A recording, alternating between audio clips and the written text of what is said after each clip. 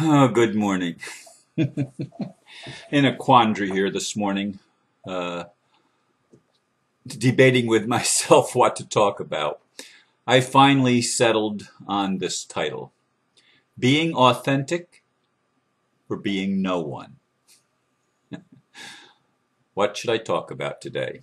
There are several directions I could take, and none of them feel powerful to me. The one I am choosing will deal with two videos sent to me yesterday, one in an email and the other posted on my Facebook wall. The first was Mooji. Oh, yeah, the first was Mooji. Nobody has to be anyone. The second was exactly the opposite. It was a Lilou interview with Panache Desai. Willingness to be yourself authentically and vulnerably. I hated the first one and loved the second. The last thing I would want to practice is being no one. That's not our reason for having a human experience, as I see it. The synchronicity in being presented both videos back to back did, did catch my attention, and I was so happy to get the second one immediately after hearing the first. Here are the videos, and I put the links up in the blurb on this uh, on this video for you YouTube listeners and for you Facebook watchers. Anyway, uh, somebody wrote in a comment on yesterday's video, get back to love. I should probably look look at that one. Uh, let's see if I can find it. Uh,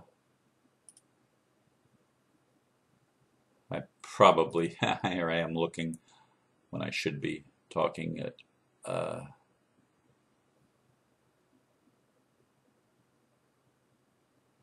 oh, yeah, here it is. Hi, Ron, love you, but you have lost all perspective. Return to love. Stop trying to control other people. Otherwise, we are as bad as those seeking to control us. Remember, love attracts its like, but you are attracting negative, low vibrational experiences with these tirades. And that was Silence is Acquiesce. That was my video from yesterday. Which, if I remember right, at the end I said, I love you. And, I, and, and to me, it is love. And, and what those two videos that I mentioned in the blurb contrasted for me was two approaches to spirituality.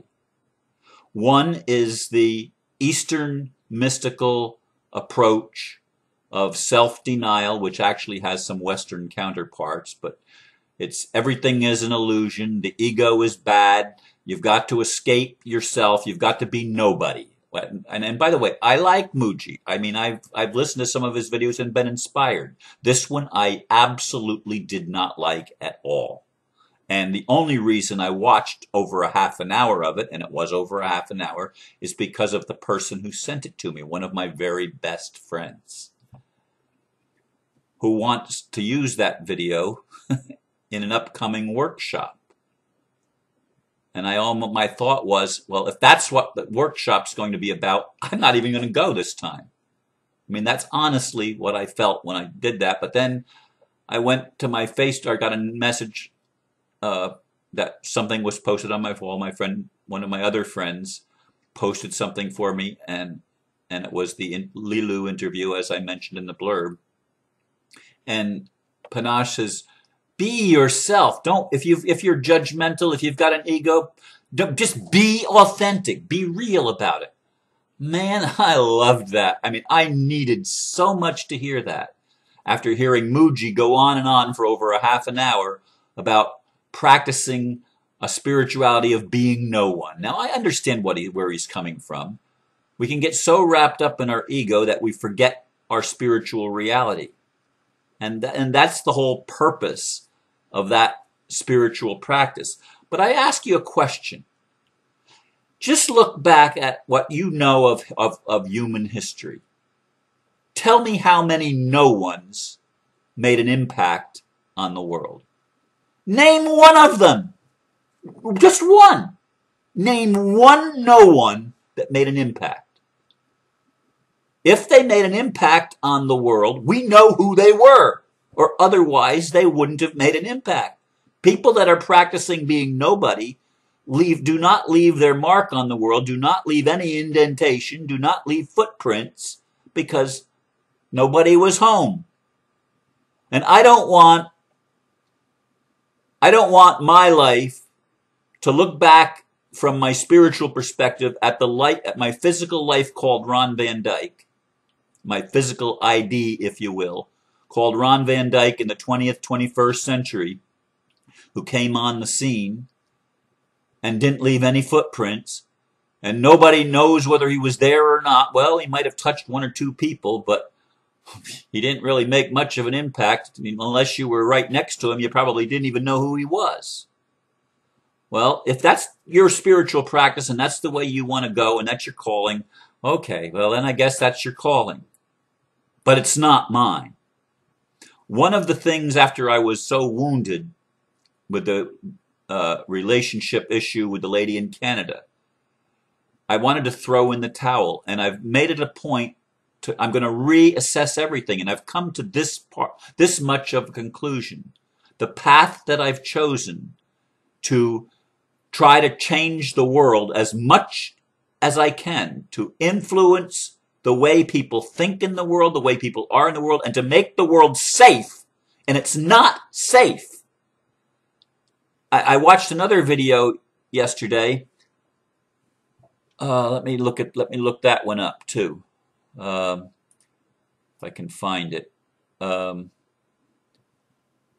it was also posted on my Facebook wall. And it was, do we create our own reality? And it was um, Teal, Ask Teal, uh, if we create our own reality, how do you explain suffering? And I want to tell you, she did an excellent job of talking about that subject. I probably should put that video up on, on there too, but I'm, I'm not going to do that. In any case, you know, she talked about her childhood abuse and everything, and she believes that she chose that. She chose the abuse. Now, I'm sorry even though I felt her authenticity in explaining it, which which I didn't feel Mooji's authenticity. I mean, he's bullshitting this woman that he's giving the advice to. Teal is not. Teal Scott is not bullshitting people.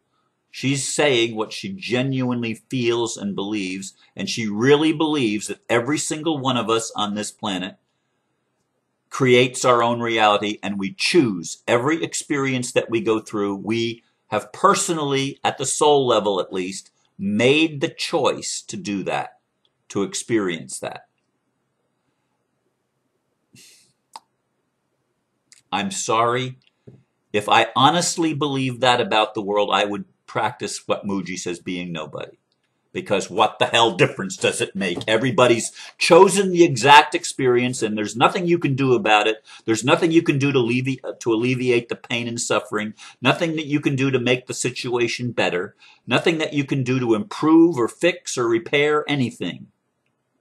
And I know there's an awful lot of spiritual teachers that say there's nothing to be fixed. We are perfect just the way we are.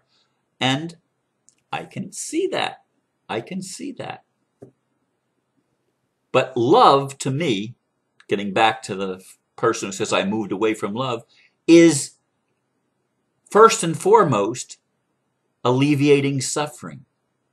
First and foremost, it's accepting what is and accepting the person as they are and listening to them, hearing what they're saying. And every every painful recitation of of suffering that we go through. Every time we have a story that has suffering in it, it's a cry for love. It's a cry for love. And I choose to love by allowing people to be exactly where they are and not trying to get them to be nobody. Not trying to get them to put their ego aside and put themselves down and think that by some act of separation from the human experience, we're going to become better or more enlightened or more powerful or more anything. You don't become more by becoming less, although, paradoxically, I can see that sometimes you do. And, and, and yes, I have to say paradoxically, because we play these opposites against each other. We do this dueling with the opposites within ourselves, which is why there's so much dueling and polarization in the world. My job is to integrate the opposites. It's not to transcend even duality. It's to integrate duality and find the dance within the duel.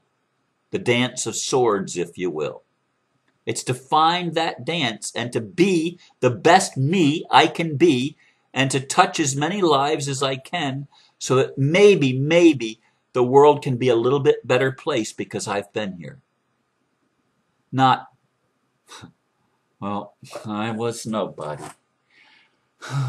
I was nobody and I was, that was my path. I mean, I just chose to be nobody. I followed my guru's advice and I realized that all of my suffering came from trying to be somebody and trying to, to make an impact and to make an impression and to leave my mark. But I realized that that's all ego and I'm not going to do that anymore. I'm going to be a nobody. I'm going to be absolutely the best nobody I can be. So that when I die, when I leave this body, no one will even have known that I was here. And that will mean that I was a spiritually great one. And I want to leave that mark as a spiritually great nobody. That's where I want to be. And if you think I'm being sarcastic, you're damn tootin'. I don't want to be known for my mediocrity. I want to be the best me I can be. The best Ron Van Dyke I'm capable of being. And I want to help the world become a better place, a safer place, a more loving place. That's the impact that I want my life to make on this world. I don't want it to be like the pebble in the stream that sends out its ripples. And if you wait long enough, the ripples are no longer there very just a temporary flash of ripples from one stone landing on the surface of the pond. Hmm. I want the ripples to go out and out and out. And like Gandhi and like others that, that we can remember, like Jesus and like the Buddha, I want to say, like Kuan Yin, they left their mark. They left their mark. People are still talking about them centuries and even millennia later. People are still talking about the impact of the one solitary life that dared, that dared to say, I am the way. I am truth. I am. I am. Talk about ego. That's ego. Who shall I say sent me, Moses asked in the burning bush experience. I am that I am. I am that I am. Ego. God is ego. God is personhood. God is identity. I am. I am. The whole purpose of, of life is to establish an identity, to be authentic and genuine, as Panache says to be whatever you are. If you're judgmental, own it. If you have an ego, own it. Whatever you are, own it. Be what you are. Be authentic. Be genuine. And that's what I do in these videos. It's why I do these videos. If you don't like it, if your spirituality is one that you want to practice egolessness and being nobody, well, have at it. But that's not what I'm about. And if that offends you, sorry, sayonara. you know, it's okay. It's okay. You are where you are. But this is where I am, and I'm saying it like it is. And I thank you for listening, whether you liked it or not. And I love you, regardless of which way you choose. If you want to be a nobody, be a nobody. I'd rather you choose to be authentic and tell the truth because I don't think there's a human being on this planet that truly wants to be nobody. Namaste. oh my goodness.